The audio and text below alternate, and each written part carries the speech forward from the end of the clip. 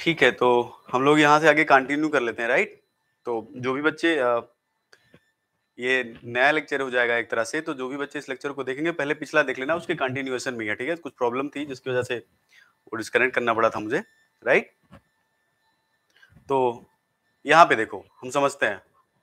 हम पढ़ रहे थे चिलेटिंग इफ़ेक्ट के बारे में राइट खुश रहो भैया, खुश रहो। ठीक है तो हम पढ़ रहे थे चिलेटिंग इफ़ेक्ट के बारे में। तो यहाँ से क्या हुआ है? पहली रिएक्शन में क्या है?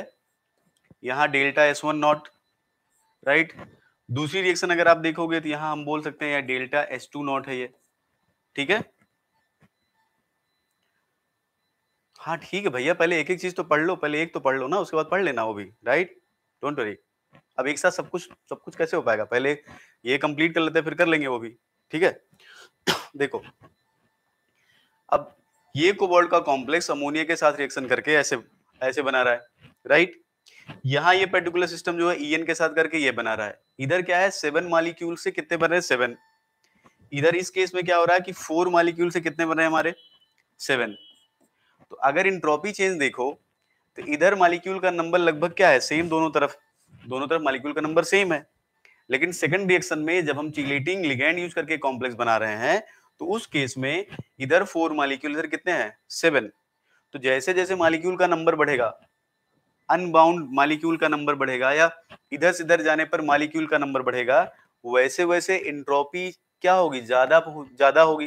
कहने का मतलब है इंट्रोपी चेंज होगा, ज़्यादा पॉजिटिव होगा। तो अगर आप दोनों रिएक्शन में कंपेयर करो तो पहले के कंपैरिजन में जो डेल्टा एस है, वो क्या होगा? मोर पॉजिटिव तो हम यहाँ से क्या लिख सकते हैं? कि delta S two not is more positive than delta S one not right हम जानते हैं डेल्टा जी नॉट क्या होता है? Delta H not minus T delta S not अब यहाँ से देख लो। ये जितना ज़्यादा पॉजिटिव होगा राइट ये उतना क्या होगा? नेगेटिव जितनी वैल्यू इसकी क्या होगी? मोर पॉजिटिव वैल्यू जितनी होगी, उतनी इसकी क्या होगी?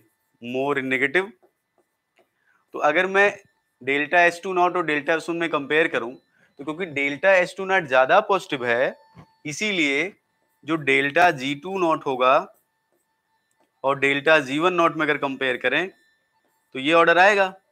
और कौन सी वैल्यू होगी? वो निगेटिव वैल्यू मतलब डेल्टा जी टू नॉट या सेकेंड रिएक्शन के लिए जो डेल्टा जी फैक्टर है, वो ज़्यादा नेगेटिव है कंपेरिजन टू फ़र्स्ट के लिए। इधर देखो।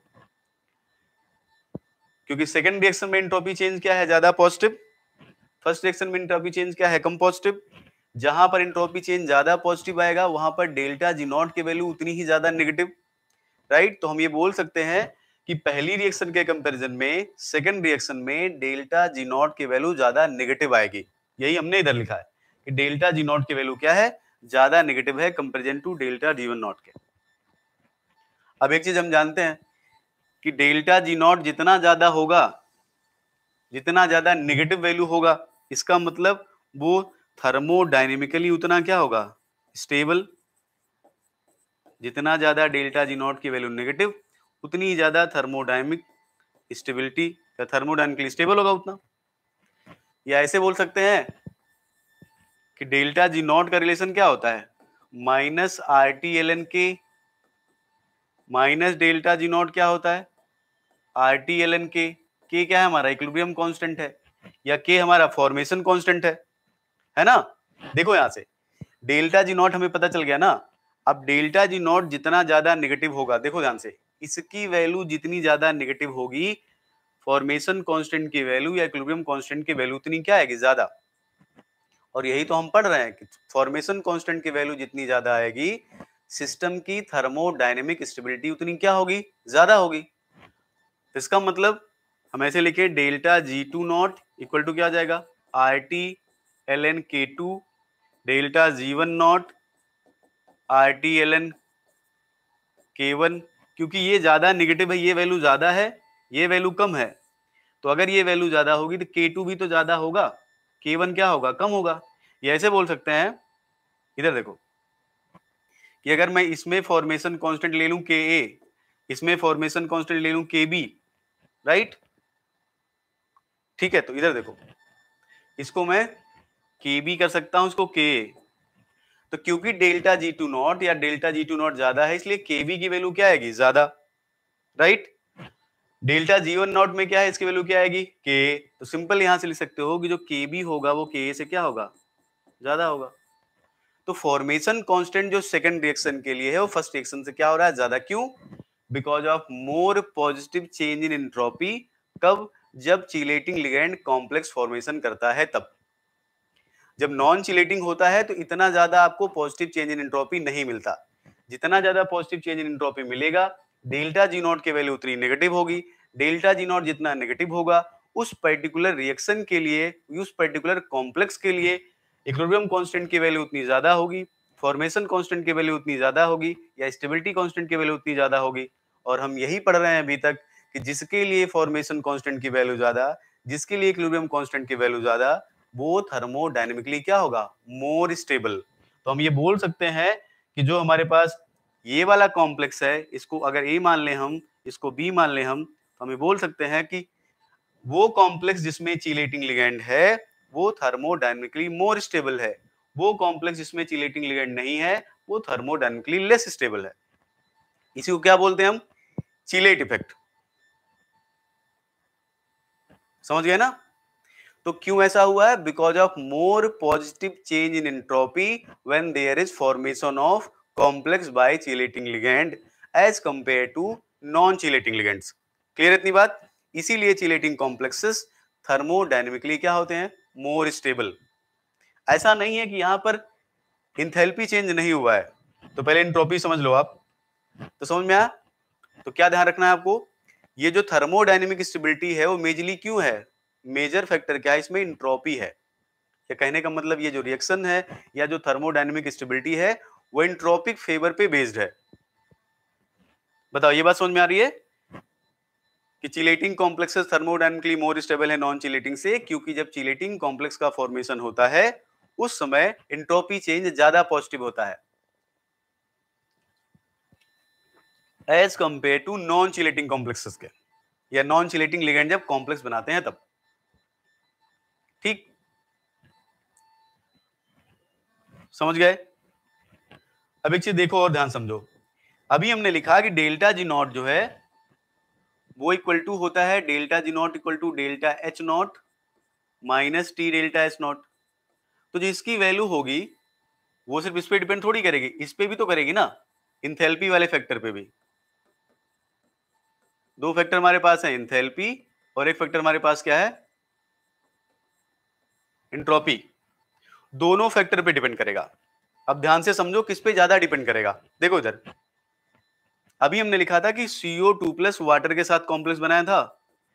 इसने अमोनिया से रिएक्शन किया सीओ थ्री प्लस ने और यहाँ बन गया CO three plus ammonia plus H two O और अगला हमने देखा था कि सेम वही कॉम्प्लेक्स जो था, उसने ईएन के साथ रिएक्शन किया। ट्वाइस कर देते हैं इसको, ठीक है? यहाँ दो अमोनिया, इसको ट्वाइस कर देते हैं। तो ये बन गया CO three plus N N या एन एन बोल सकते हैं ठीक है? पूरा मैं कॉम्प्लेक्स नहीं लिख रहा हूँ बात समझ जाओगे आप। तो दोनों केस में जो कोबाल्ट के साथ यहाँ से यहाँ जाने पर बॉन्ड बन रहा है, किससे बना वो? यहाँ भी नाइट्रोजन है, यहाँ भी नाइट्रोजन है। है ना? पहले में क्या था, हमने लिया था? अमोनिया, दूसरे में लिया था इथाइलिन डाइमीन तो दोनों केस में जो मेटल के बीच में बॉन्डिंग हो रही है, मेटल की, वो किससे हो रही है? वो नाइट्रोजन से हो रही है ना? तो आप खुद से सोचो अगर नाइट्रोजन इधर भी है, नाइट्रोजन इधर भी है तो बॉन्ड एनर्जी तो सिमिलर होगी ना दोनों की? बॉन्ड एनर्जी क्या होगी? सिमिलर? आइडेंटिकल नहीं होगी। आइडेंटिकल क्यों नहीं होगी? क्योंकि यहाँ पर टू लगा हुआ है। यहाँ सी नहीं है तो लेकिन सिमिलर होगी। सिमिलर क्यों होगी? क्योंकि डोनर एटम दोनों केस में क्या है? आइडेंटिकल है। दोनों केस में क्या है? नाइट्रोजन है। तो बॉन्ड एनर्जी क्या होगी? सिमिलर। जो इंथेल्पी होता है वो किस पे डिपेंडेंट होता है? बॉन्ड एनर्जी पे। तो ये जो फैक्टर होगा, ये क्या होगा? Nearly same. Nearly same. Identical नहीं, नियरली सेम। इसका मतलब ये नियरली सेम है। तो जो मेजर डिसाइडिंग फैक्टर है वो क्या है? इंट्रोपी तो है। समझ गए? भाई, अगर दोनों केस में नाइट्रोजन है तो बॉन्ड एनर्जी सिमिलर होगा। बॉन्ड एनर्जी अगर सिमिलर होगा तो जो इंथैल्पी होता है, वो बॉन्ड एनर्जी पे डिपेंड करता है ना। तो अगर बॉन्ड एनर्जी सिमिलर है तो जो इंथैल्पी चेंज होगा, पहले वाले में भी और दूसरे वाले में भी, वो लगभग सिमिलर होगा। अगर वो सिमिलर है तो डिसाइडिंग फैक्टर कौन हुआ? यही हुआ ना इंट्रोपी वाला। समझ गए? इसीलिए जब आपसे बोला जाए कि जो चिलेट इफ़ेक्ट है चिलेट इफ़ेक्ट की वजह से थर्मोडाइनेमिक स्टेबिलिटी ज़्यादा होती है चिलेटिंग कॉम्प्लेक्सेस की as compare to non chelating complexes के। तो उसमें कौन सा फैक्टर डोमिनेटिंग फैक्टर है? फैक्टर दोनों होते हैं इंथैल्पी भी और इंट्रोपी चेंज भी। लेकिन डोमिनेटिंग फैक्टर कौन सा है? इंट्रोपी है। इंट्रोपी चेंज डोमिनेटिंग फैक्टर है। समझ में आ रही है बात? क्योंकि ये फैक्टर नियरली क्या रहेगा? सेम क्योंकि बॉन्ड जो डोनर एटम बॉन्ड बना रहा है, वो क्या है लगभग? वो दोनों केस में क्या है? सेम है तो बॉन्ड एनर्जी लगभग सिमिलर होगी नॉट आइडेंटिकल इसकी थोड़ी ज़्यादा होगी। ज़्यादा क्यों होगी? क्योंकि यहाँ पर सी एच टू ग्रुप लगा है, जिसके पास प्लस आई इफ़ेक्ट है। बट नियरली जो है डेल्टा एच क्या होगा? सिमिलर होगा दोनों केस में। तो इसका मतलब जो डिसाइडिंग फैक्टर है चिलेट इफ़ेक्ट का, वो क्या है हमारा? चेंज इन इंट्रोपी समझ गए? बोलो पहले, ये बात समझ में आ रही है कि नहीं? कि chelate effect is majorly due to entropic change, not due to enthalpic change. Yes या no? चिलेट इफ़ेक्ट मेनली किस किस किस वजह से है?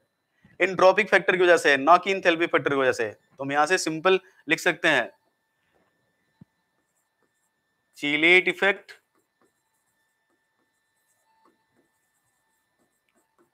is mainly due to या प्रीडोमिनेंटली ड्यू टू ऐसा नहीं कि इंथैल्पिक बिल्कुल ज़ीरो है। मेनली या predominantly due to predominantly due to entropic factor entropic factor not due to enthalpic factor ऐसा नहीं कि इंथेल्पिक फैक्टर ज़ीरो रहेगा, लेकिन मेजर जो रोल है किसका है वो? इंट्रोपिक फैक्टर का है। क्लियर है ना बात ये? तो अब गड़बड़ मत करना, ठीक है? ध्यान रखना हमेशा। ठीक? क्लियर है बात? इंथेल्पिक का रोल होता है, ऐसा है, ऐसा नहीं है कि नहीं होता है। वो भी कहीं ना कहीं स्टेबिलिटी को बढ़ाती है, लेकिन जो मेजर रोल है, किसका है वो? वो इंट्रोपिक फैक्टर का है इंथेल्पिक का नहीं है। तो एक बार नेट में क्वेश्चन आया था कि जो चीलेट इफ़ेक्ट है मेनली क्यों है? तो उसमें ऑप्शन था इंट्रोपिक इफ़ेक्ट इंथेल्पिक इफ़ेक्ट एक बार मैं जल्दी से लिख देता हूँ आप। देख लो, ठीक है? क्वेश्चन करने से थोड़ा आपका कॉन्फिडेंस बढ़ेगा कि हाँ ठीक एग्ज़ाम में क्वेश्चन हमसे होते हैं।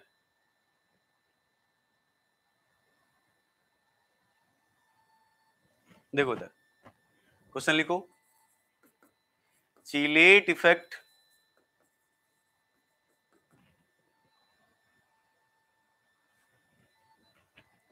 is mainly due to या चीलेट इफ़ेक्ट इज़ पहला predominantly due to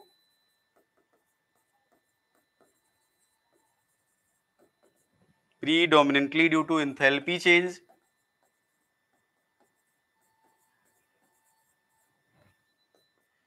अगला predominantly due to entropy change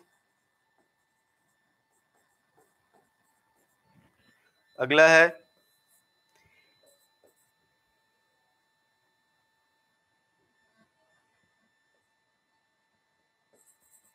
independent of ring size ये फैक्टर में भी आपको समझाता हूँ, ठीक है? अगला है due to equal contribution from enthalpy and entropy change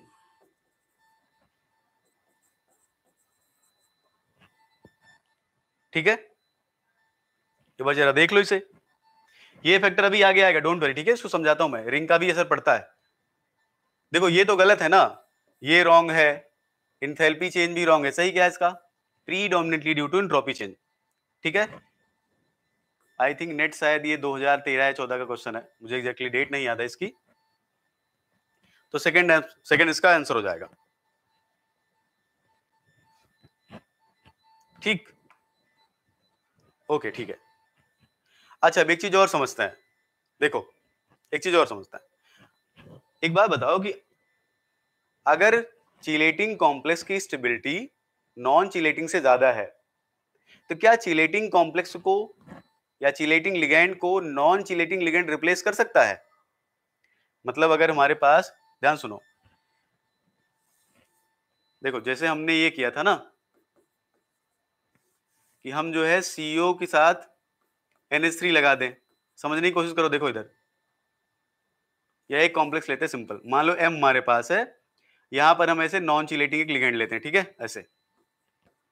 और यहाँ पर हमने एक दूसरा लिगेंड लिया जो कि चिलेटिंग है। बाई डेंडेटा चिलेटिंग हो जाएगा ये। तो यहाँ बन गया M Y Y thrice N plus इधर बाद में क्या हो गया? सिक्स एल दूसरा, इसको उल्टा कर देते हैं हम। M Y Y thrice three plus plus six L M L six N plus आप बताओ, इनमें से कौन सी रिएक्शन फेवर्ड होनी चाहिए? पहली या दूसरी? एक में हमने क्या किया है? नॉन चिलेटिंग को चिलेटिंग से रिप्लेस किया है। दूसरे में हमने क्या किया है? चिलेटिंग लिगेंड को नॉन चिलेटिंग लिगेंड से रिप्लेस किया है। तो आपके हिसाब से फेवर्ड कौन होना चाहिए? क्या एक नॉन चिलेटिंग लिगेंड चिलेटिंग को हटा सकता है? क्या कॉमनली ऐसा हो सकता है कि एक नॉन चिलेटिंग लिगेंड जो है, वो चिलेटिंग को हटा दे? बताओ, क्या ऐसा हो सकता है? कॉमनली ऐसा हो तो कुछ भी सकता है लेकिन लेकिन अगर आपसे पूछा जनरली ऐसा पूछा जाए कि एक हमारे पास चिलेटिंग कॉम्प्लेक्स है, उसमें हम एक नॉन चिलेटिंग लिगेंड लगा रहे हैं और चिलेटिंग लिगेंड को हटा दे रहा है। फेवर्ड कौन होगा? पहला वाला। ये फेवर्ड नहीं होगा, क्योंकि चिलेटिंग को आप किससे रिप्लेस कर रहे हो? नॉन चिलेटिंग से। क्यों नहीं फेवर्ड होगा? क्योंकि ये थर्मोडाइनमिकली क्या है? मोर स्टेबल ये थर्मोडाइनमिकली क्या है? लेस स्टेबल समझ गए ना? ठीक है, इसलिए जब भी आप रिएक्शन करोगे ना सब्सटीट्यूशन रिएक्शन तो उसमें एक चीज़ ध्यान देना आप, कि कोशिश करना कि मोस्ट ऑफ़ द केसेस जब आप देखोगे तो चिलेटिंग लिगेंड को नॉन चिलेटिंग से नहीं हटाते हैं। Right right? किसको हटाते हैं? नॉन चिलेटिंग को चिलेटिंग से हटाते हैं। ठीक? एक क्वेश्चन देख लो टीएफआर में आया था 2010 में। इस पे बेस्ड देखो।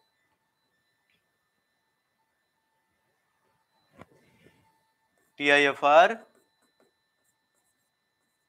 2010 क्वेश्चन क्या था? देखो इधर। ध्यान समझो। था कि निकिल टू प्लस का एक्वा सोल्यूशन है। वो है ग्रीन कलर का। इसमें ऐड किया गया अमोनिया एक्सेस में। एक्सेस में अमोनिया ऐड किया गया। तो निकिल टू प्लस का कॉम्प्लेक्स बना अमोनिया के साथ। राइट ये कलर हो गया ब्लू उसके बाद फिर इसी में ऐड किया गया ई e तो यहाँ ई e के साथ इसका कॉम्प्लेक्स बन गया। राइट ई एन के साथ। N I two plus E N ठीक है? और ये हो गया वायलेट कलर का। मतलब क्या किया गया कि निकिल टू प्लस का एक सोल्यूशन है। उसमें ऐड किया गया अमोनिया तो ब्लू कलर बन गया। और उस ब्लू कलर सोल्यूशन में ई एन ऐड किया गया तो क्या बन गया हमारा? वायलेट कलर का सोल्यूशन बन गया। तो ये ग्रीन सोल्यूशन है, जिसमें एक्वस में है। ये ब्लू सोल्यूशन है। मैंने अमोनिएटेड लिख दिया इधर। और ये कैसा हो गया? वायलेट कलर का सोल्यूशन है। ये ऑब्जर्वेशन है। ठीक है? राइट फिर क्या बोला गया इसमें? देखो। बोला गया कि अगर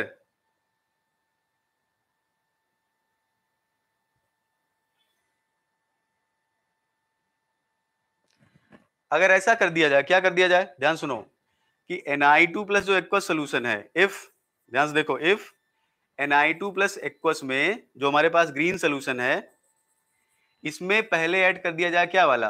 पहले ऐड कर दिया जाए ई एन ठीक है? तो ए बन गया, मान लो। उसके बाद ऐड कर दिया जाए एन एस थ्री मान लो बी इधर हो गया।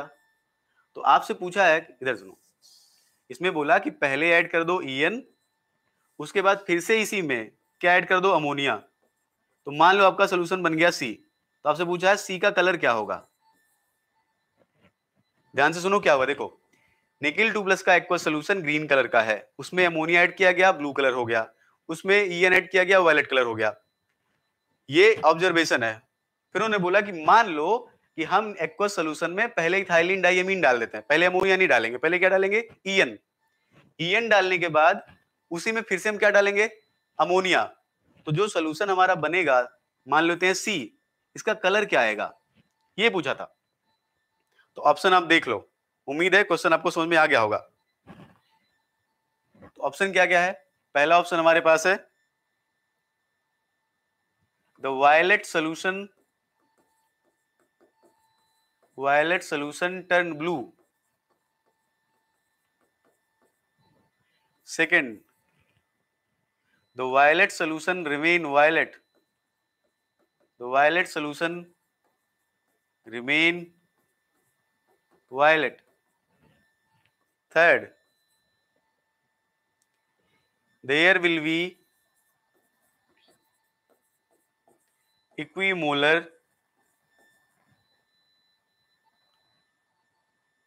mixture of n i n s 3 6 2 plus giving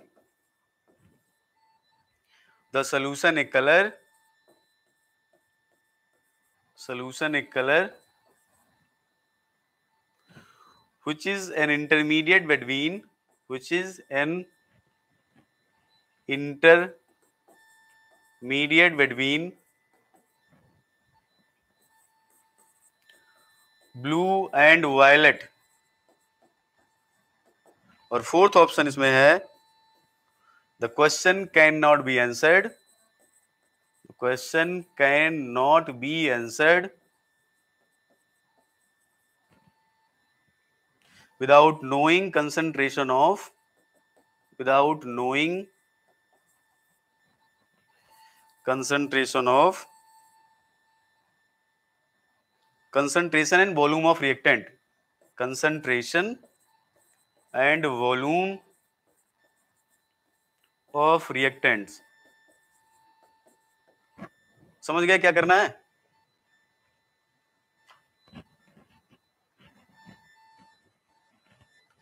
ठीक है मतलब ये बोल रहा है कि, देखो सिंपल सी बात है, यहाँ से समझ लो एक बार फिर से।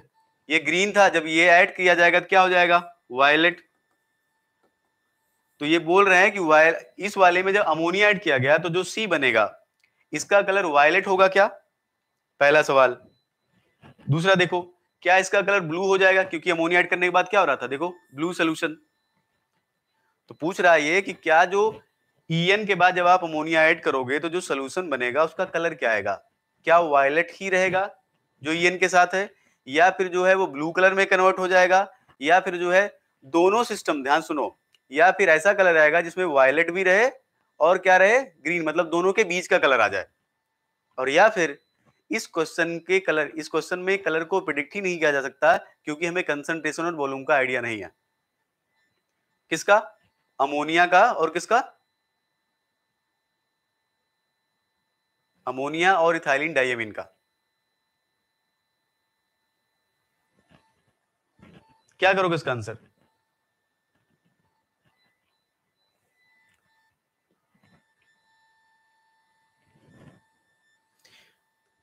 लास्ट ऑप्शन देखो तो ध्यान से। ये तो इतना पता है ना कि ईएन जब जुड़ेगा इसके साथ तो ईएन को अमोनिया रिप्लेस नहीं कर सकता। तो ब्लू कलर तो नहीं आएगा। इसका मतलब ब्लू कलर तो नहीं आएगा। राइट कलर वायलेट रहेगा। इधर देखो। इसका मतलब वायलेट ब्लू ये तो गड़बड़ है। और अगर वायलेट कलर नहीं है, इसका मतलब सिंपल है कि उसके बीच का भी कलर नहीं आएगा तो ये भी नहीं होगा। क्योंकि ब्लू तो बनेगा ही नहीं ना आपका। तो आपका बचा क्या? देयर इज़ जो कलर है, क्या रहेगा? वायलेट और एक ऑप्शन आपका बचता है the question can not be answered without knowing concentration volume of reactant देखो नॉर्मल कंडीशन में नॉर्मल कंडीशन में चिलेटिंग लिगेंड को अगर कुछ और एक्स्ट्रा आप नहीं डाल रहे हो एसिड ओसिड नहीं ऐड कर रहे हो तो तो नॉर्मल कंडीशन में ईएन को अमोनिया नहीं रिप्लेस कर सकता। कंसंट्रेशन बढ़ाने से रेट ऑफ़ रिएक्शन बदल सकती है राइट आप मीडियम नहीं चेंज कर रहे हो ना? आप क्या मीडियम को एसिडिक कर रहे हो क्या? नहीं। मीडियम थोड़ी बदल रहे हो आपकी। मीडियम बदल दिया तो ई एन वहाँ से हट जाएगा अमोनिया लग सकता है। मीडियम थोड़ी चेंज कर रहे हैं हम।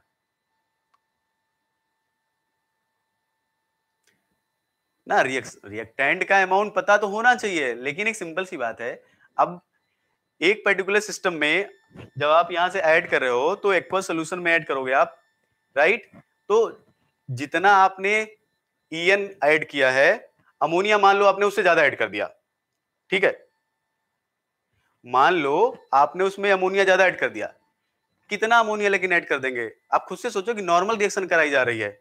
इसका मतलब ये थोड़ी कि बहुत ज़्यादा अमोनिया ऐड कर देंगे। तो एक आपसे नॉर्मल सवाल पूछ रहा है वो। इतना भी मत सोचो कि नहीं, वो दो, तीन, चार ड्रम, दस ड्रम डाल देगा, इतना ज़्यादा डाल देगा कि नहीं, बिल्कुल ये निकल जाएगा। इतना नहीं जाना हमें। ठीक है? राइट तो नॉर्मली क्या होगा, जो ईएन है, उसको अमोनिया जो है रिप्लेस नहीं कर सकता। ठीक है? अब आप इतना, हमें इतना इमेजिन नहीं करना बेटा कि बहुत ज़्यादा कंसंट्रेशन होगी। उतना नहीं सोचना हमें। खुद से सोचो, उतनी का एक बार बताओ। आपसे सवाल, ये सवाल थोड़ा पूछेगा वो, कि हम कंसेंट वो तो सिंपल सी बात आप बहुत ज़्यादा कोई चीज़ ऐड कर दोगे तो कलर तो उसी के हिसाब से आएगा। वो सिंपल आपसे, आपका नॉलेज चेक करना चाह रहा है कि क्या चिलेटिंग को नॉन चिलेटिंग से हटा सकते हो क्या? नहीं हटा सकते हम। इसका मतलब जब ईएन जुड़ गया तो जो वायलेट कलर था, अब आप अमोनिया ऐड कर दोगे तो अमोनिया उसको रिप्लेस कर ही नहीं सकता। तो इसका मतलब कलर आपका नहीं बदलेगा।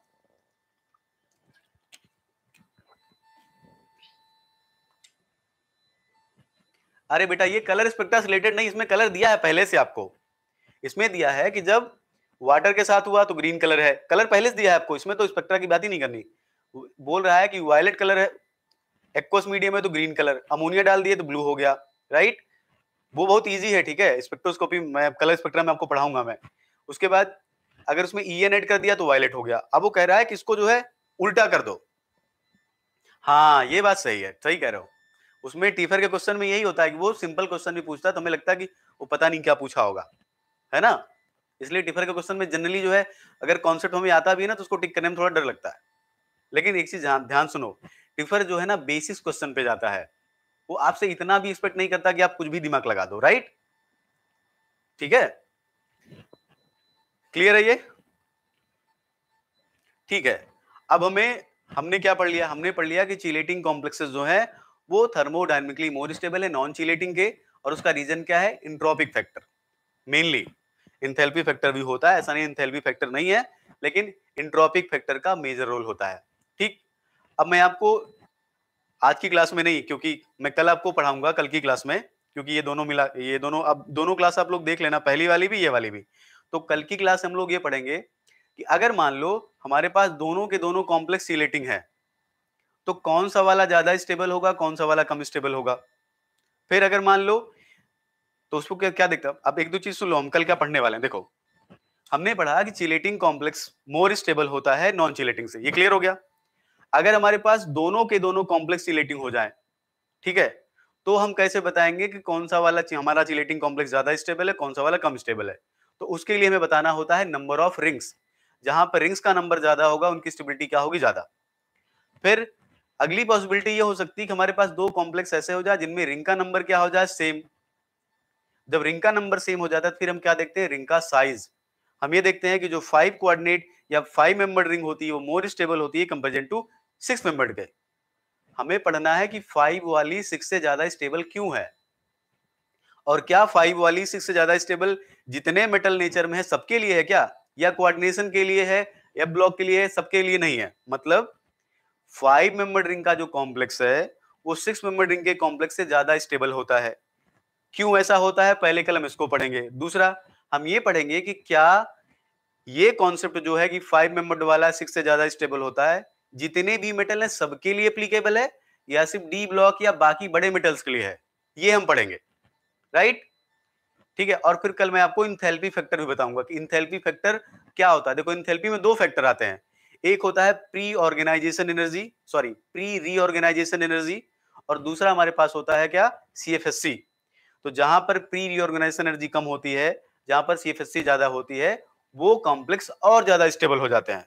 तो इसके बारे में हम कल डिस्कस करेंगे कि प्री रीऑर्गेनाइजेशन एनर्जी क्या है राइट right? वो कैसे इंथेल्पिक फैक्टर को इंक्रीज कर देता है, जिससे थर्मोडायनेमिक स्टेबिलिटी बढ़ जाती है।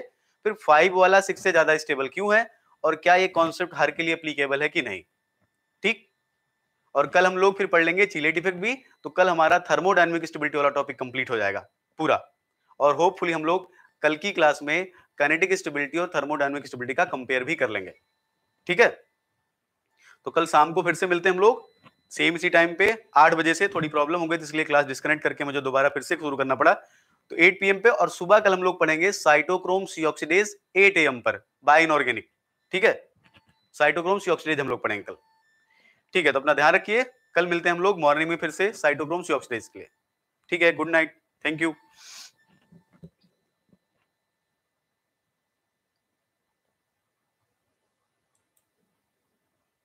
okay thank you बेटा थैंक यू थैंक यू